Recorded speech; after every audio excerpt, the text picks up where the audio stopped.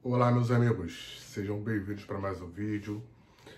Antes de mais nada, se inscreva, dê o seu like, faça perguntas, comentários, com... enfim.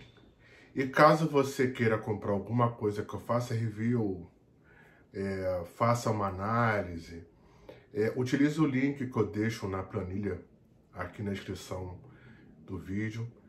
É, tem vários itens que eu já fiz review comparativo também ali. Inclusive, os que eu vou abordar hoje também vão estar tá lá, tá? Bem, pessoal, hoje não é um teste. Eu vou abordar alguns pedais da DemoFX, DemoFX, como, como queiram, que tem esse viés transparente, tá? É, eu já falei isso algumas vezes, mas explicando novamente o meu ponto de vista a respeito dessa questão de pedal transparente. Né? É, um overdrive tradicional, Tube Screamer, Super Overdrive, é, enfim, essa vibe bluseira principalmente, é, eles têm um, uma equalização quando você liga o overdrive. São chamados inclusive de mid boost, né? O pessoal do metal usa uma configuração neles para deixar os médios mais proeminentes e cortar os extremos, tanto de agudo quanto de grave, né? Então, o Tuba Screamer, por exemplo, ele não é um pedal flat, ele tem tipo uma curva, né, onde ele evidencia os médios, tira uma frequência de agudo e uma frequência de grave, tá? É, então, quando a gente fala pedal transparente, é que ele tem uma tendência mais fletada em manter o som original da guitarra, tá? É lógico que o pedal ele vai inserir uma característica, tá? É, por mais flat que ele seja, ele vai trazer alguma característica própria, tá? Outros mais, outros nem tanto, tá bom? É, e aí, vamos falar um pouquinho, é, começar aqui pelo é, pedal que talvez tenha dado origem a vários outros, né, que se inspiraram nele, é, que é o Breaker Drive da DMFX, que é um clone do, clone do Blues, Break, Blues Breaker da, da Marshall pedal muito transparente nessa, nesse quesito de frequência, tá? E aí vem até uma questão do tone dele, que é muito pouco atuante, tá? Você, para sentir uma diferença, você tem que girar ali bastante.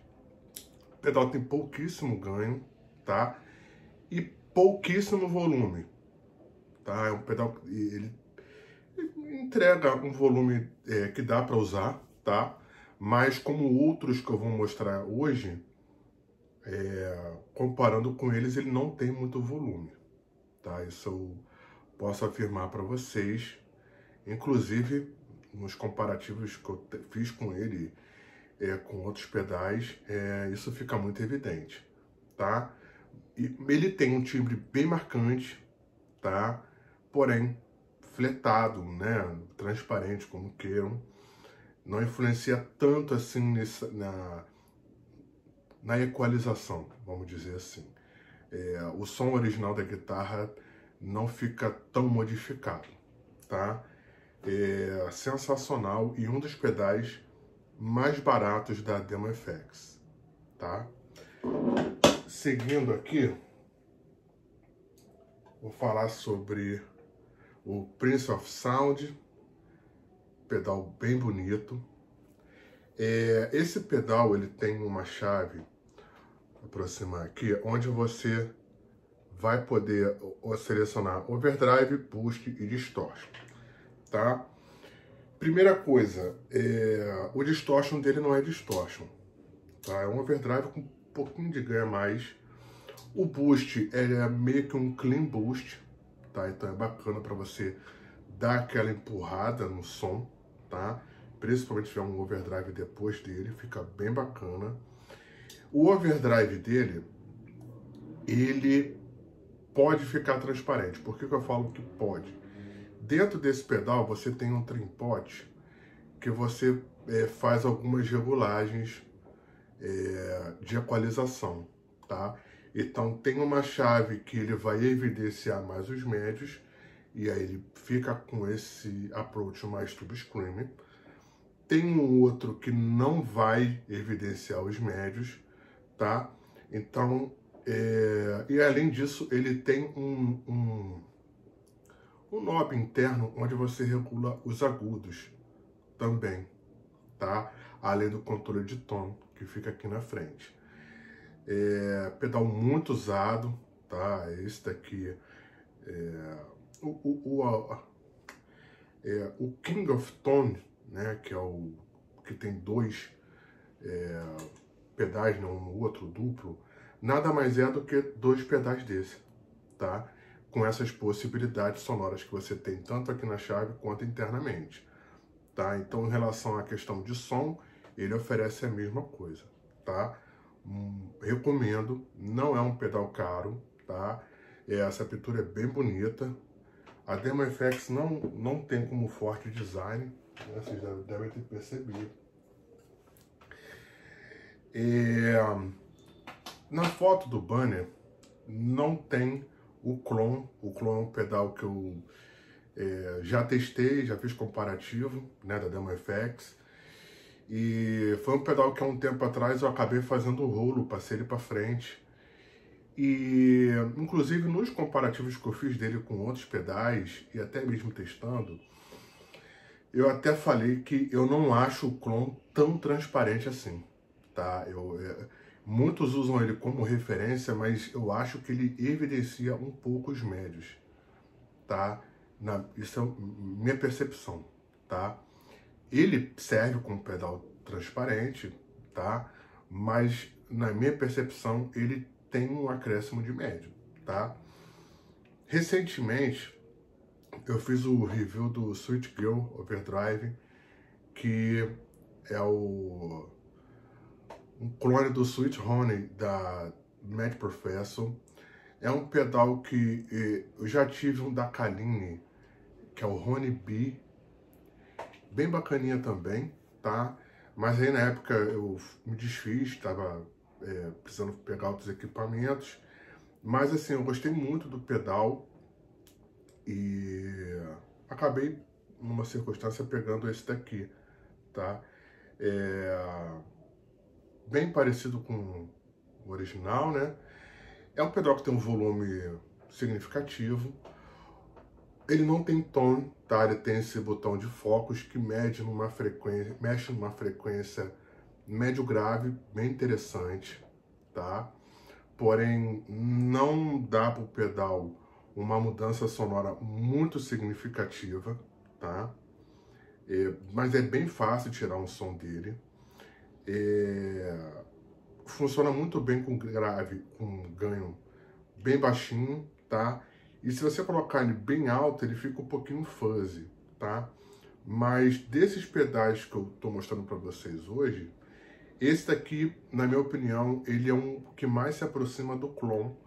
Porém, como ele tem esse ajuste né, da frequência média grave, você consegue um drive um pouco mais fletado, tá? Bem legal, dê uma olhada nesse review, desse review desse pedal aqui. Em breve eu vou gravar alguns comparativos. E... Enfim. É... Um outro pedal que eu vou trazer é o John Ray, tá? Ele tá até com esse topper pedal porque é um pedal que fica no meu board. Quem viu aí o board 2024 é, sabe, né? Já viu. É, design, né? Ok, os novos parecem até com, com original mesmo. É, esse pedal não é tão transparente assim, tá? Pela aquela questão que eu falei com vocês, da característica que o pedal tem e ele acrescenta isso. Então aqui você vai ver que ele acrescenta a característica no timbre, tá? porém você tem controles muito atuantes de grave e agudo, tá? É, controles muito sensíveis, vale dizer, muito volume, pedal alto pra caramba. É, o ganho dele é bem significativo, tá? E um pedal que eu adoro, tá? Um som bem quente, é aquela coisa bem orgânica, lembra bastante um, um amp valvulado. É, é um pedal que o Matheus Assato usa, né? A galera aí que gosta do trabalho dele. É, inclusive no plugin que ele tem da, da Archetype, né, da Neural, é, tem um pedal inspirado nesse. Então, assim, é bem interessante, tá? E também não é um pedal caro. O último, que talvez tenha sido o pedal que mais hypou essa parte transparente, né, digamos assim, no setup da, do pessoal, é o Angel Blue Drive, que na verdade é um clone do time, que não é da primeira versão. Esse daqui tem dois voices, tá? A primeira versão é o quem faz o clone é, o, é, o, é a Kaline com o Pure Sky, que eu já tive, tá? E testei os dois, inclusive, lado a lado, e eu optei por ficar com esse e abrir mão do, do Pure Sky. É, esse pedal tem muito volume, tá? De todos esses que eu mostrei aqui, ele, na minha opinião, assim como o Pure Sky, ele é muito fácil de tirar um som, é, funciona bem em qualquer estágio de ganho que você colocar aqui, inclusive no máximo, tá? Volume absurdo. O Pure Sky tem um pouco mais de volume do que ele, mas assim, você não vai usar tudo. É... E nesse quesito transparente, tá? É, falar assim, pô, qual é o pedal desses cinco que você está mostrando? Se eu for pegar um, e eu gosto muito dessa vibe worship, mas eu também quero um pedal versátil que dê para usar em outras aplicações e que não tenha uma característica tão marcante como o G-Ray, por exemplo. É, até o Sweet Girl, ou o Prince of Tone também, é, tem características bem próprias, né? E modificam o som de certa forma, tá? Esse daqui é o que modifica menos, tá? Modifica menos. E também está entre aí os pedais mais acessíveis da Demo FX.